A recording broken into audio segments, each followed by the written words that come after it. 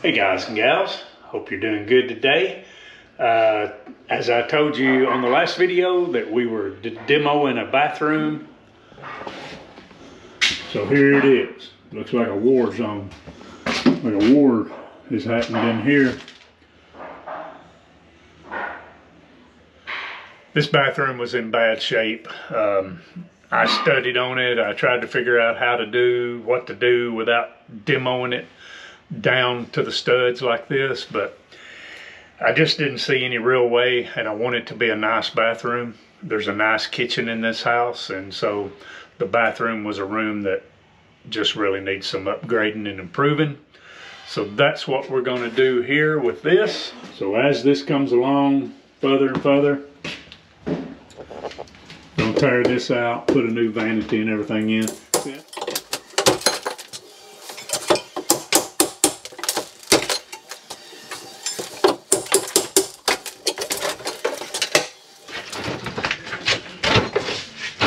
Maybe more than you, me and you both can handle. I don't know. Yeah, it ain't gonna be easy. I come out in the whole sheet. Let's see if we can just set it around the corner. I don't know. Let's just go on to the front porch. That worked out good. Yep. Coming out in the whole sheet. This right here might do it. Might do it. Yeah. That make fast work of that. Mm-hmm. That wall. One of the things I like about this uh, Milwaukee Surge, this is the 18 volt.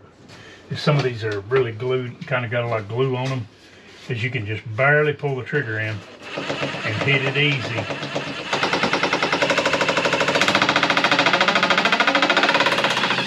And back it out and not strip the head.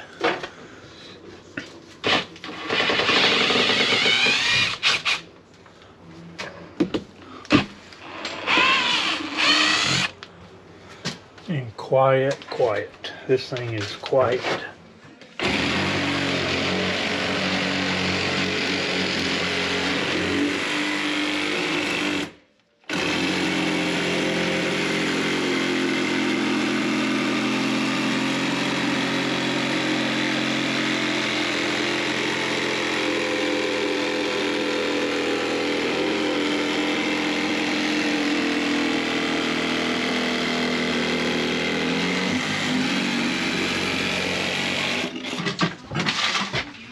It's older than me and you both, I imagine. I'm just wondering if you're gonna get it all back together. That's what I'm kind of wondering, you know. Well, I might, should, may have to go talk to Ashley, see what might she pay, says. pay, pay somebody. Shoot, man, you'll get it. Ashley figured it out. Yeah. Man, you get it. Y'all figured it. Ain't nothing too hard for us. Woo, it's a mess. I'm gonna find a way. Hey, we'll figure it out. We'll figure it out. Don't worry about it. Well, we done gotten too deep in this thing to figure, worry about it now. we done too far to turn back now. We done took out part of the ceiling.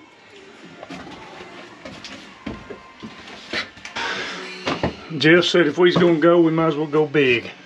But we done took a whole ceiling out in here. so what we're doing now is we're truing these walls back up. These are true, and these are true over here. But this one's not true. Can you see the difference of it sticking out right there? So I've had to true those up right there. So that's why those are sticking out like they are, and that's why I'm rebracing them. It's just, who knows, the wood may have been bowed when they put it up, may have moved over time. You can see a little gap right there. May have slid back a little bit. Well, it's next morning. We've got, uh, I put one ceiling, whatever you want to call it, joist or whatever, that the sheetrock's gonna hang on. I've got another one across, and I'm, I'll put probably one or two more here and one over there See, I had to bring the DeWalt light with the rafter hook, hang it in. It was just dark back in this area, so to light that up. Pretty cold outside, so we're gonna cut our two by fours in here with the 60 volt circular saw. Just put a brand new Diablo framing nail blade on there. We're gonna use this 60 volt vacuum here. Jeff's got the remote on him somewhere. Right on my wrist. Got it on his wrist right there where he can turn it on and off. Vacuum. Wound up putting tape over the hole where that vacuum cleaner hose connects to the circular saw.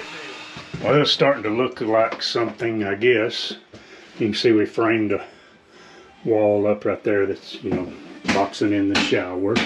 We've put up the mold resistant sheetrock for the ceiling. So slowly but surely, Jeff's putting a little bit of sheetrock mud over all the screws. Start covering them up, sanding it, getting it ready. Well, this is the next day, and we're shiplapping. This is where the toilet's going to go. I don't know if it's the camera's picking up that little where I had to cut that out, but because that floor, uh, the water, excuse me just a minute, I handled that insulation. Where it's got me. All right, where the water supply comes in for the toilet is back, and this stuff is thicker. So I had to make that little indentation. I'll caulk it, we'll paint it, I'll dress it up. It'll be behind the toilet and be okay. But anyway, just to show you what we're doing.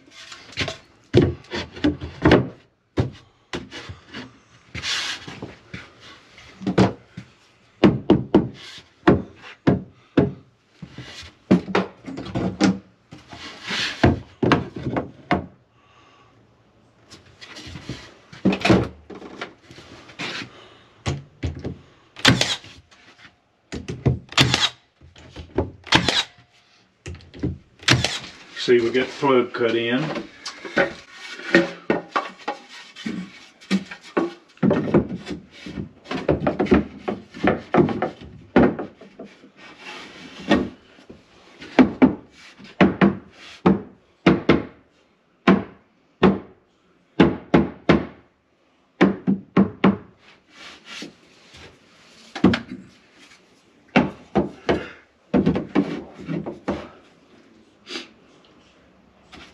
Still too early to be yawning, Jeff. Man, I went to bed too early last night. I went to bed about nine o'clock. Did you? Yeah. That Actually bought some Wendy's chili. Oh man, that's good. Oh chili. man. Good chili. Yeah. Uh, 47 inches. Yeah. We knocked it out. Can't believe we did, but we did. Jeff's gonna put a painting on it tomorrow. Looks pretty good. I got that, uh, I don't know if it's Schluter board, Kerdi board, or whatever on yesterday. And I didn't buy the rolls of this because I had a bunch of, some of this left over. You know, this is what you roll out on the walls when you do it over sheetrock. And so I was just cutting these into um, about three inch strips just to use them to stay from having to buy buy some of this. You can see where I cut them, put them in the corners there. And then uh, in these corners, of course, you know, this is an old, old house. I don't know what it was built, 40s, 50s, 60s. Don't really know.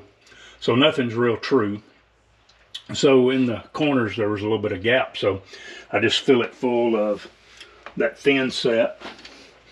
Filled those any cracks that was in there full of that and then put the paper in there. It's one thing I like about this system so well is it's got so many avenues to waterproof it. And then where there was a little crack around like so, I just filled that full of mud. So now I'm just uh, doing in this niche right here.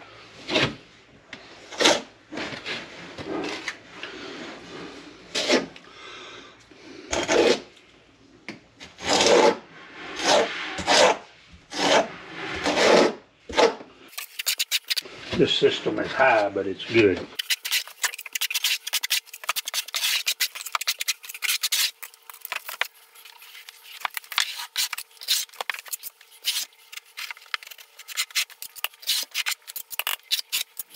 This is what we got done. We're quitting for today. Of course, you can see the shiplap painted, ceiling painted, and we started laying a little tile.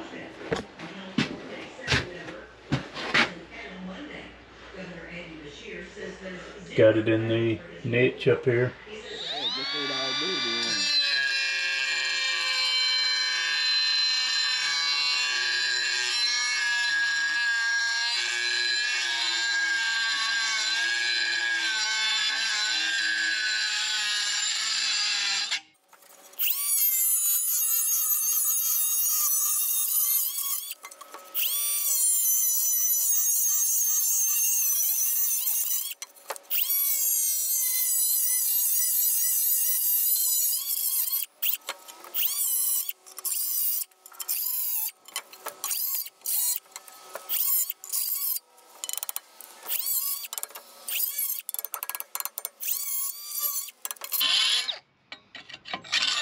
There it goes. It. All right, moving on with this bathroom. We've got it all tiled.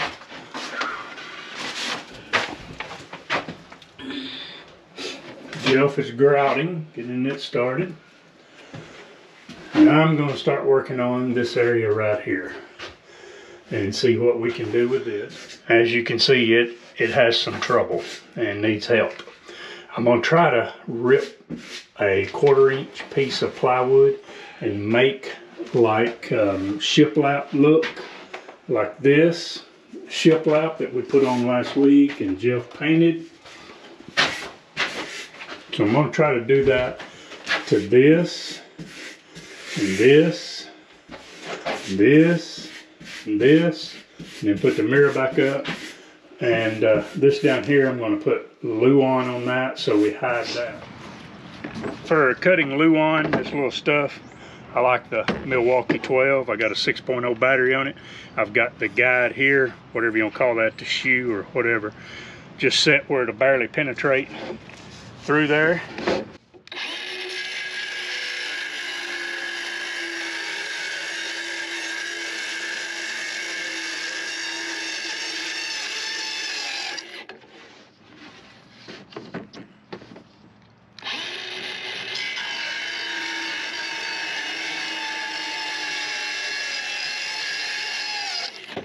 Not something that's got to be just a perfect cut, but pretty close. Now this piece of Luan here is not real straight, so I, I would like it to have a little straighter edge in that.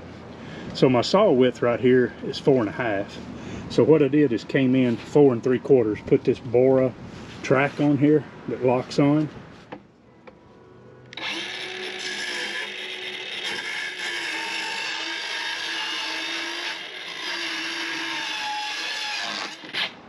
Try to kind of get a straighter edge.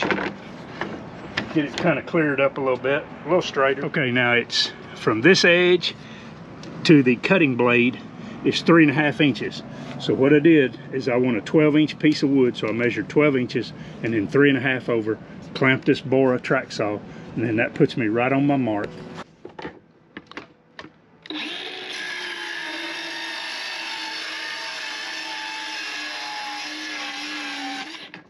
That way you get piece. This bathroom is very tiny. I have to put the camera on super view a lot. I know the lighting is not that great. There's just not a lot of places to put any extra light. I'm doing the best I can do in the situation I'm in. As you probably already know, this is liquid nail, just help it bond to this wall. This is that Luan I just ripped. It's going to be behind the vanity. We'll paint it white. It'll kind of dress that area up. All right, this is what I'm to cut my, uh, probably to cut them about five inches wide. Uh, this is real close to quarter inch, I think. Yeah, it's, uh, well, it's half inch. I guess it'll be half inch then. But what I'm to cut my fake shiplap out of, sorry about the shadow but um, I just need 34 inches I got a factory edge down there on that side and I got a factory edge right here I believe probably a factory edge right here so I'm to cut this across 34 inches That's going to be my longest board I'm to need. And then just start ripping it and making shiplap out of it. I am measuring up eight and three quarters. Put me a line. This little jewel right here would be good if I had clamps with me today. They still be set. Then I take this and this, set them on my lines, lock it down. This one needs to come over a little more. Maybe right there. Now this uh, half inch plywood, it's, it's a load on this little M12.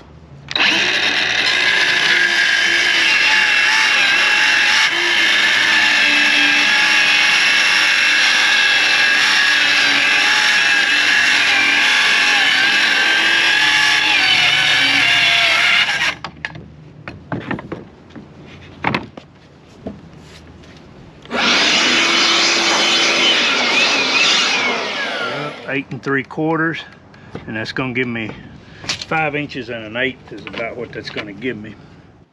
My problem a lot of times is i've got tools scattered everywhere different towns and i need my clamps but they're in a different town. And it's a 30 minute drive to go 30 minutes back. I don't want to waste an hour.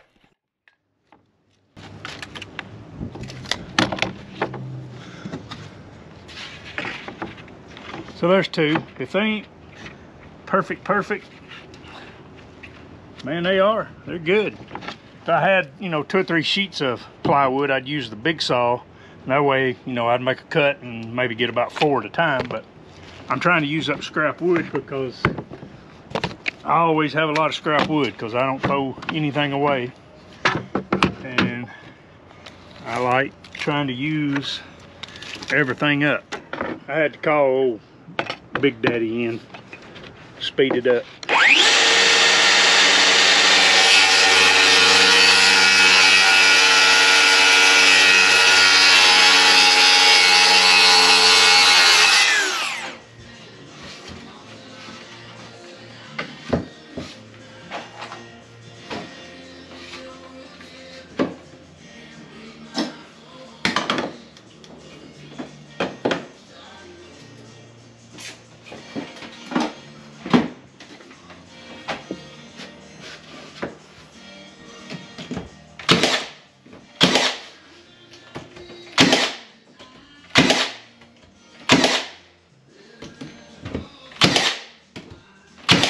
I had to get more of an assembly line going.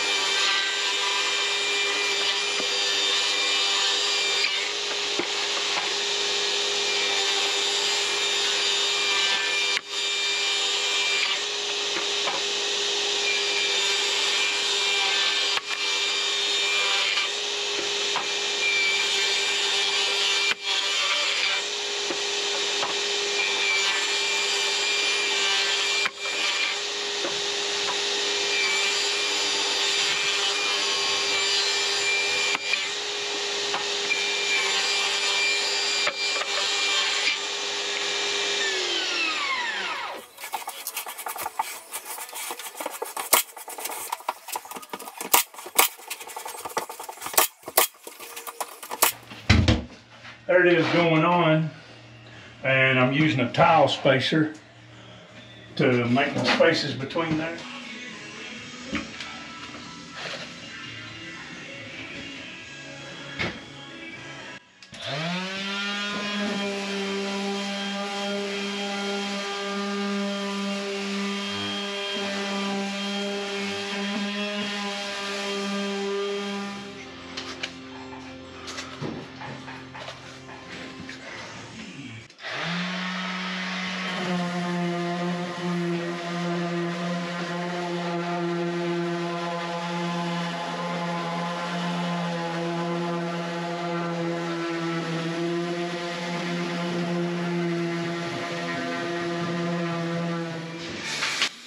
Spray painting in between the cracks with a flat white paint so that no color shows through in between those cracks. You see this little beam that goes, I don't know why they did this drop-like ceiling in here, what's going on with all this, but it's here and it is what it is, but you see that. I just happen to have three of these here. They're, you know, they're rough. I'll put this on the inside. I can make them work, a little sanding, and whatnot. But I'm gonna make these to make a box. But there's a little lip in there, and I'll show you in a minute that I need to go over. So I'm gonna have to rip a lip out of this right here. And, you know, just leave a little thin piece right here to go over. I'm always just saving wood. And so in remodeling these rental houses, I just make work what I've got to keep from going and buying something to try to keep my expenses down and to help with just the, the cost. So I just use the scrap wood, wood I've got left over.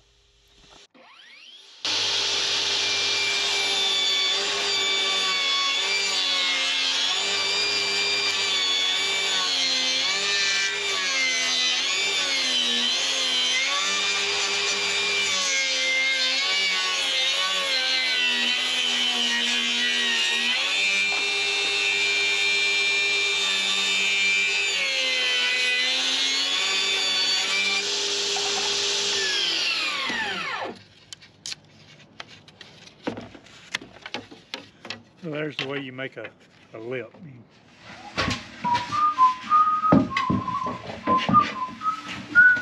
Can you, by chance, hand me that nail gun, please?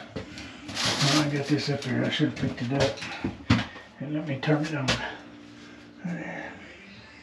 All right, thank you. I got it.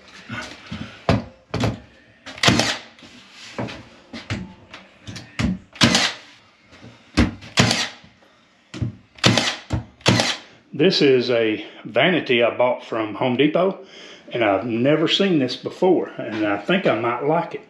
You see the you see the shelf is there. It's not put in. So I set this in and get it situated. Makes it lighter to handle. And then cut my holes out here for my water because my water is not going to be in the back.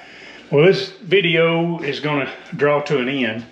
The bathroom is close enough, I think, to kind of conclude it. See Jeff putting where I just made that beam little thing all the way around. He's putting the paint on it. One more time, the shiplap. Kind of proud of that. And then here we are. I've set the vanity in. There we are with what I did with the plywood. I think it turned out good. It's, you know, kind of got that country farmhouse feel to it. And this house is, you know, it ain't the uh, newest of houses, so I think it'll, so I think it'll blend in. Guys, I thank you for watching this video through. I hope you enjoyed the redo of the bathroom. Let me know in the comments, do you like it, me making a video from start to end, or had you rather me break them up into sections? Guys, y'all have a blessed day. Thank you a lot.